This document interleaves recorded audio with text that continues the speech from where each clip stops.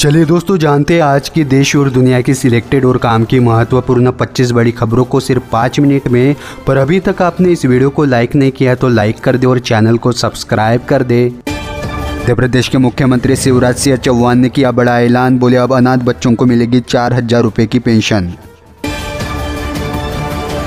सरकार का बड़ा ऐलान 31 मार्च से पहले लिंक करा ले पैन और आधार कार्ड, वरना हो जाएगा एक्सपायर। उत्तर भारत में बदला मौसम का मिजाज, बिहार, उत्तराखंड में ओलावृष्टि, यूपी, झारखंड में बारिश शुरू। एयरटेल यूज़र्स को तगड़ा झटका, अब आपको रिचार्ज के लिए चुकाने होंगे छप्पन रुपये एक्स्ट्रा। पेट्रोल डीजल के दामों से लेकर एलपीजी गैस सिलेंडर की कीमत तक एक अप्रैल से बदल जाएँगे सबके रेट। फर्जी तरीके से राशन कार्ड बनवाकर सरकार को चुना लगाने वालों की अब खैर नहीं, सरकार ने दिए जाँच के आदेश। सिंगल यूज़ प्लास्टिक को लेकर एडवाइजरी जारी पकड़े जाने पर लगेगा दस हज़ार रुपये का जुर्माना। सरकार का बड़ा ऐलान, अब बेरोजगार युवाओं को मिलेगा पच्चीस सौ रुपये मासिक भत्ता। झारखंड में टॉपर्स को सम्मानित करेगी हेमंत, सरकार कैश के साथ साथ मिलेगा फ्री लैपटॉप और स्मार्टफ़ोन। छत्तीसगढ़ में कन्या विवाह के लिए दिए जाएँगे पचास हज़ार रुपये, सीएम बघेल ने किया ऐलान। बिहार में होगी तीन लाख से ज़्यादा टीचरों की भर्ती, शिक्षा मंत्री ने किया बड़ा ऐलान। तापमान बढ़ने से 10 से 30 प्रतिशत घट सकता है फल और सब्जियों का प्रोडक्शन, तेज़ी से बढ़ेगी महँगाई।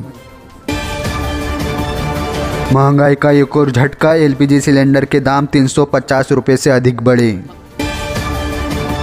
कच्चे तेल की कीमतों में बढ़त के बाद देश के कई शहरों में महँगा हुआ पेट्रोल, डीजल आज 116 रुपए तक पहुँची कीमत। तीन महीने से बिजली बिल न भरने वालों पर होगी कार्यवाही। बकायेदारों से मार्च में वसूली की तैयारी, नहीं तो कटेगा कनेक्शन।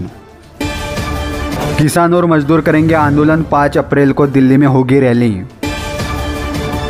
महाराष्ट्र में गरीबों को सरकार का तोहफा, अब लड़कियों को पढ़ाई के लिए मिलेंगे पिचहत्तर हज़ार रुपए। रेशन कार्ड रखने वालों के लिए खुशखबरी, अब फ्री राशन के साथ मिलेंगे एक हज़ार रुपए।